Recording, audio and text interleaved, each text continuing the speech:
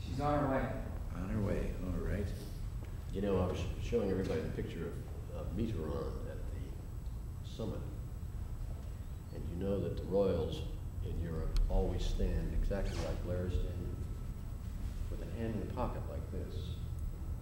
If you look at Mountbatten, if you look at oh, Philip and. Charles and Yes. Mitterrand in every picture, always yes. has his hand in his pocket. All right. Well, maybe. And it absolutely sets him apart. Yeah. Incidentally, we had a little move, movement here, something, if you had heard about. That over there instead of the eagle. I didn't know this, but the photographers were going crazy. And finally, they brought me a couple of pictures. One was I was wearing that as a hat, sitting in a chair. Oh, And then they brought one of, one of the heads of an African state, and it looked like he had feathers, wearing feathers in his hair. looks like that hairpiece on the show the other But that over there, you spoke of Montgomery, all of that, the hundred and first Airborne made that. Have you looked at that, Blair? And those are all the leaders on the beaches of Normandy, in the war there, both the Allied and German, one side or all the Allied, the other side of the German. How's it going? That's nice. Yeah, very nice. And he'll get some use out of that. It's too bad that little one in the moves, which are waste. Me too. Uh, right at this point, uh, we're trying to figure out.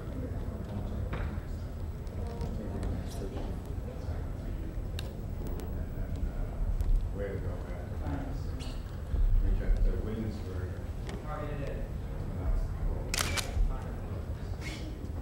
Well, Hello, Well, how are you? hello. How are you? no, Oh, no, it you was. shouldn't have. You didn't have to. No. Well, fine, thank you, how are you? Fine. How are you? Glad to see you. No, I left these here long enough for you to see these for, from President, one of the congressman's father-in-law in Alaska, John Young. He, he makes these, this, What? this is a gun case, Put your rifle in. and this is a baby strap. Both of Just which- what I need. This is the thing that goes around you and then holds the baby on your back. Yes. So you'd like to see it. You sure you would like to do something with it? Yeah. Like you do, Jim. Would you like me to tell you? no. Rancher. No, honey, we really don't need these. We really don't. No, we don't. No, um, honey. Yes, honey. Yes, honey. We're, we're, we're getting to the point the ranch where I'm not gonna be able to get the door pretty soon. No, honey. That may be the best film you've gotten in four years. No. Shall we, Jim? Okay, I'll go over the scenario here real quick. Um, President, Mrs. Reagan, and the Deaver family will just all go out in- the rose garden, mix and mingle on the grass a little bit. While we're doing that, Barry, Sarah, finishes, uh, Don and uh, Jim Baker, and Barry will step down, we'll have the President, Mrs. Reagan, and the Deaver family step up, and the President will make his remarks. And uh, that'll When do is it. Mike making his remarks? Mike, Mike follows the It will President. depend on what the president says. Be easy. You know, no, no golf balls in here, okay? You told me that the other day, and I promised that I wouldn't, and I, and otherwise I don't know anything to say. And then we'll just work our way out of the rose garden back to the residence. All right, okay. All right. You see my last little thing here? A Man sent this to a wonderful letter.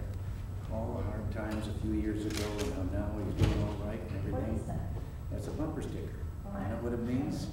Well, when he first made it, it stands for liberal appropriations made our overextended budget.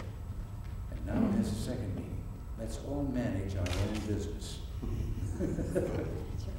So, la move. Well, let's go.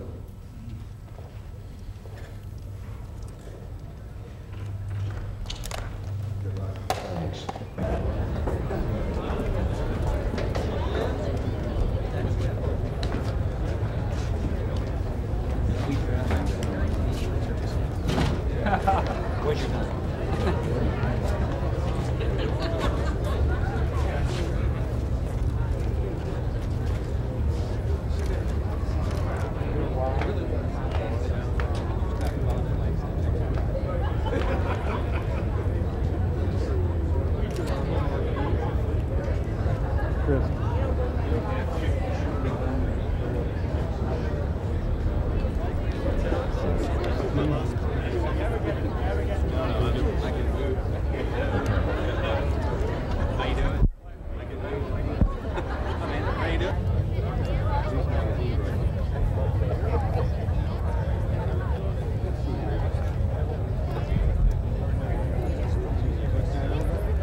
I think we're just gonna be all wait here in the center.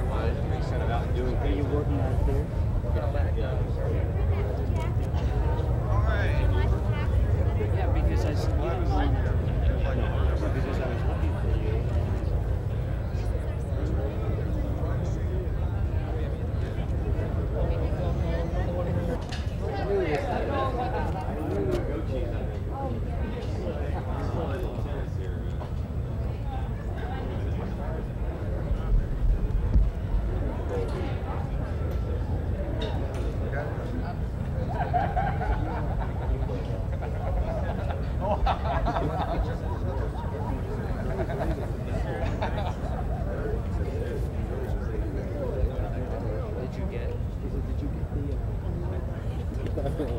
Mrs. Reagan, Mike, family, glad you're here. Uh, I'm Barry Serafin with ABC News, and I, I guess I'm here because, uh, with a few notable exceptions, I probably have known Mike longer than anybody in the press corps. Ten years, I figured. Um, I have to say that this is probably an occasion for testimonials, but Mike has been a major disappointment to me on a couple of scores. He's never been able to pronounce the name of my hometown in Oregon for 10 years, and he's never developed into a, a real news leaker. Uh, so he's pretty much a washout on that score. uh, but also in those 10 years, um, Mike, I can't remember a single time when he has misled me on anything, and that's a rare thing in politics and government in view of the adversarial roles we're supposed to have. In those roles and in our relationship outside of them, it's always been a pleasure. And uh, I know, Mike, that you're going to have some adjustments to make in leaving the White House. You're going to be losing some perks, among other things, car and driver and all those. So to help you with your reentry into the real world, I, I brought with me a complete map and all the schedules for the Metro bus here in Washington. So, so good luck, Mike. And uh, a few words now from uh, a colleague of yours, Jim Baker.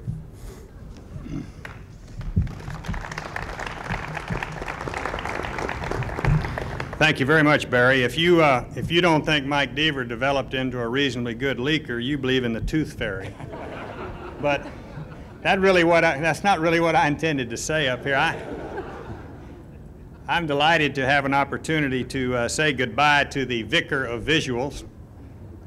I really didn't think this day would ever come, but I, uh, I really have a piece of advice for you, Mike, as you leave, and that is that you're going to find it's people are really not quite as ready to lose to you in tennis when you're out there in the private sector as they, as they are when you're deputy chief of staff of the White House. But I do want to say a couple of things seriously, and one is that I knew Mike when? I knew Mike in the political arena in 1976 when we were opponents and I won. And I knew him again in the political arena in 1980 when we were opponents and he won. And I knew him in between in 1979 when he was on the outside looking in. And I got to say, in all those cases, he handled himself with competence, with good grace, and totally without any trace of arrogance. Through all of this, when I was on the other side, Mike was not only a strong competitor, he was a political professional as well. And he's one that believes, as I do, that you can be political enemies or political adversaries without being political enemies. And more importantly now, I think I know Mike as a true friend. Most of you here know, and some uh, a lot better than I, of the invaluable contribution which he's made not only to the President and Nancy, but to each and every one of us. He has faithfully served not only the president, but our system of government, and I think the American public as well. In no small part, the success of Ronald Reagan's first term is due to Mike Deaver's efforts. And we all know that that success was overwhelmingly endorsed by the American people last November. So I have no doubt, Mike, that you're going to be successful in your next endeavor, and I wish you the very best of luck. Just remember, don't call us, we'll call you. It, uh, in 100 days, I've had to learn uh, all that that guy has done in 20 years or more with the Reagans. I learned to absorb it quickly and then try to replace it. I find, Mike, that's a most tremendous task and something I shall never be able to do, literally. Uh, but I do want to say a few things, Mike, uh, that I have found in that 100 days. Your footprints all around the White House in some very strange areas. And I, I think that as time goes on, I'm going to have to be calling you, in spite of uh, uh, Jim Baker's advice, I'm going to have to be calling you to find out just where do these footprints lead, because they're in some very curious areas. And there are two areas that I have not been able to find a replacement for you, Mike, in any way, shape, or fashion. I have searched diligently. The first is in the, as a piano player. I have been able, unable to find an aide that could play with the National Symphony. And the second is in wine testing. You didn't train anyone in your, as a replacement in that. And most of the people here think that Thunderbird is really quite a wine. And,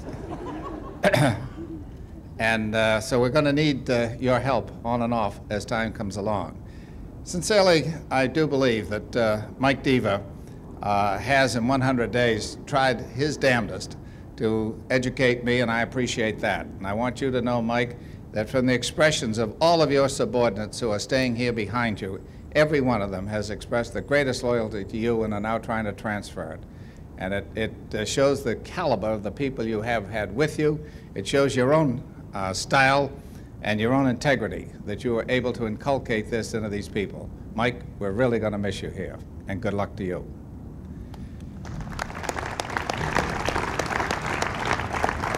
And now, as we depart the stage, uh, we'll allow the boss, Nancy, if you will, would you please come forward?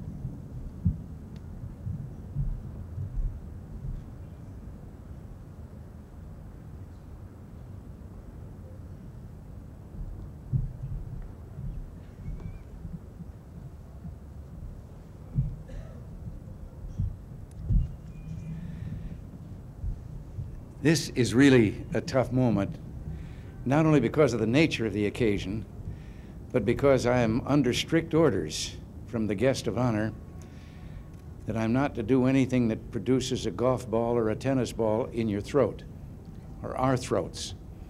And uh, staying away from that kind of talk with regard to what this occasion is all about handicapped me. Then I thought, in view of recent happenings, that maybe I could say a few words in German.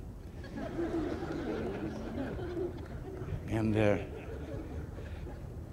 the only thing I knew was Sie ein Streichholz? Have you got a match? And that wouldn't work. Dankeschön comes in kind of handy. An awful lot of Dankeschöns. So I really, I'm going to try and stay away from that lump in the throat kind of talk. I know this.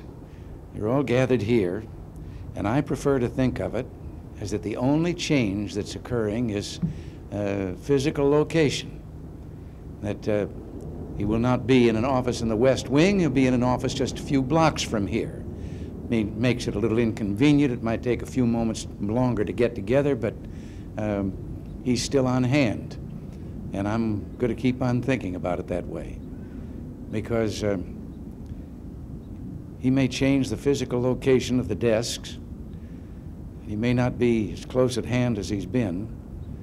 But there's one thing that won't change at all, and that is a friendship that's been built on almost 20 years of very close association. And uh, if it's true that the guy that holds this job is the most powerful man in the world, then I got news for you, Mike. I ain't letting go. Friends will remain. And I, um, I wish I could think of, of something other to say, but if I did, I would risk getting into that territory that you've said you and I might. he, he just said it, stop.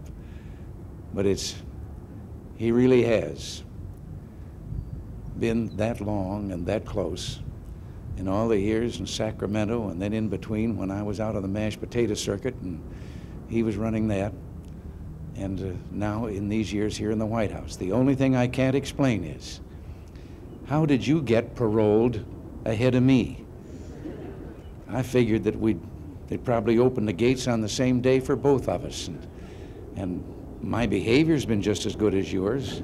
You- Anyway, paroled you are, but while you're on parole, I'm your parole officer, so don't get too far away. All right?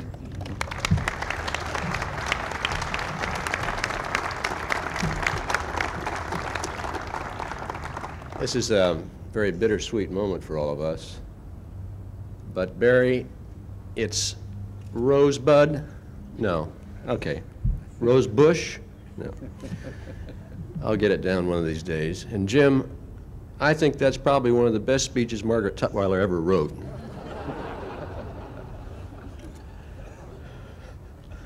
And Don, the reason that I haven't given up the secrets about the wine tasting and the piano playing is that I'm going to reveal that I couldn't ever play the piano unless I had a bottle of wine.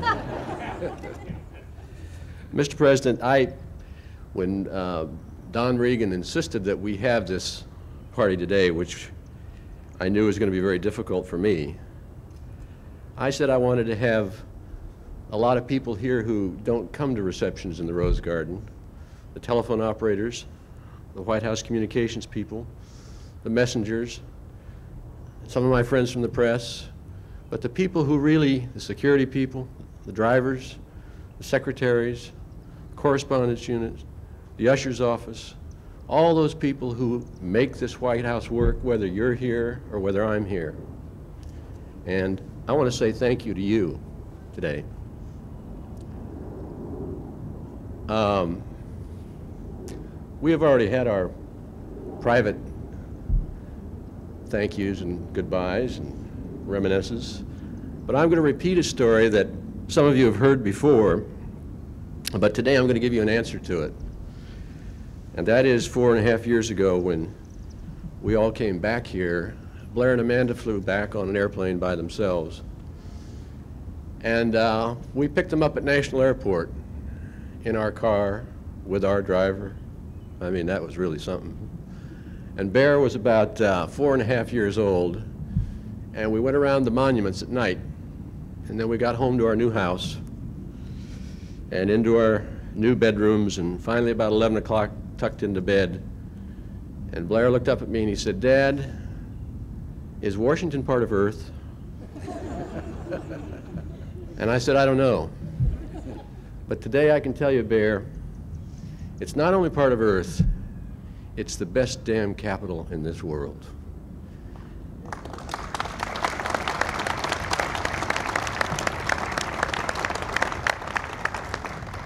And in large part, Bear, it's because of these two people here who've made it stronger and safer and better for all of us and for all of you. Thank you, Mr. President. Thank you, Nancy.